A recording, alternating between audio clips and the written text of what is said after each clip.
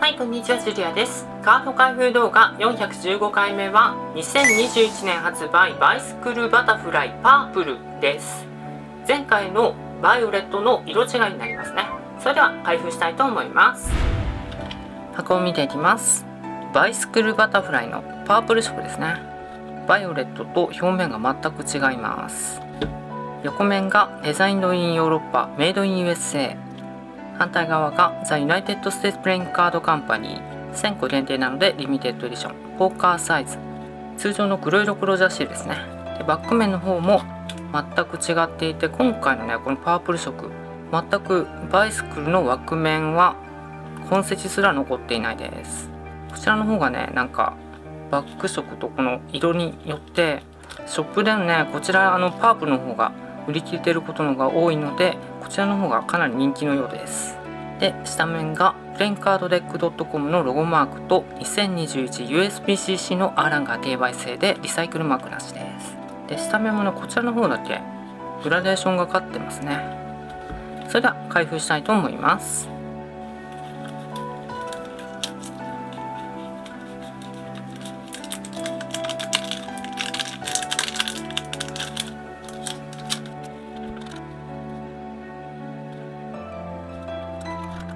はい、切れ目を入れました。はい、ここはバイオレットと同じく横フラップに蝶々が描かれています。はい、ダイヤのクイーンとクラブの8のダブルフェイスですね。で、ダブルバック。ボーダーは同じく細いので、はい、中身が見えやすくなってますね。それでは表面いきます。ジョーカーは全く同じというかね表面は全く同じかもしれないですね。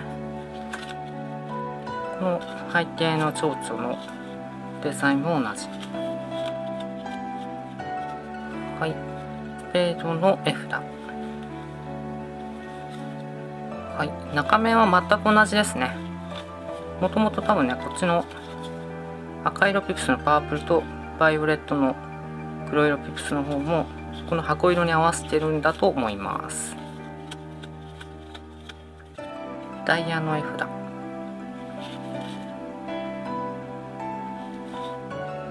クラブの絵札。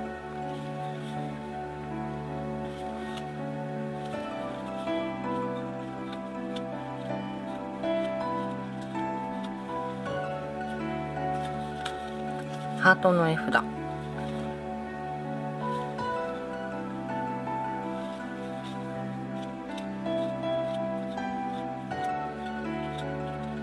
でハートのエース。2019年のスタンダード54枚と。2019年のスタンダードよりも1枚分の厚みです。前回のバイオレットと同じですね。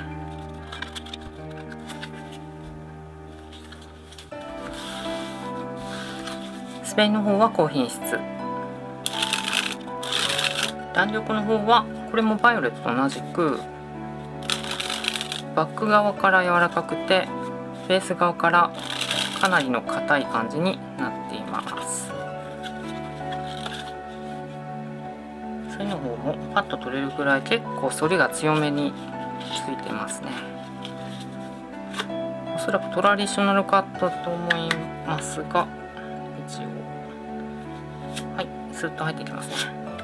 トラディショナルカットだと思います。応参考までに。はい入らないです。それではねバイオレットの方とおそらくねバック面以外全部同じだと思うんですけど見ていきましょう。はい一応のところ表でついてるカードね。中身のダブルフェイスの方の表面がダイヤのクイーンとスペードのジャック。でクラブの8とハートのエース。でもこれにねランダムに入ってるんではなくてこの2種類の色で決まっていると思います。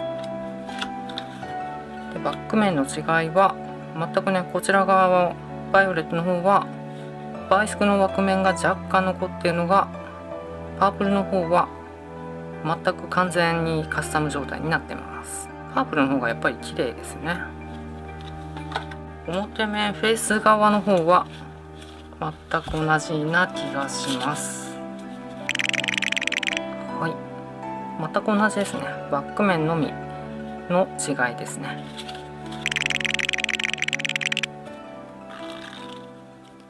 はい。バイスクルバタフライパープルを開封しました。バイオレットと比べてバック面のねこの完全カスタム具合とかこう色合いとかのねグラデーションがかってたりとかかなり綺麗なのでどちらかといえばどちらも1000個限定なんですがパープルの方がねちょっとおすすめ具合は高くなります。それではジャンル分けします。2019年のスタンダードよりも1枚分の厚みなので厚いトラディショナルカット仕様の高品質。ブレンカードクデックドットコムでウィールドやプロデュースでアルトゥールラージデザインのメーカーコラボ。バタフライ。蝶のデザインのコンセプトデザイン、えー、普通にこちらね売り切れてるところがもう出ているのでヤーデックコレクションにもうなっていってると思います。で1000個限定生産の数量限定です。バイスクルバタフライパープルでした。よろしければチャンネル登録いいねボタンよろしくお願いします。それでは。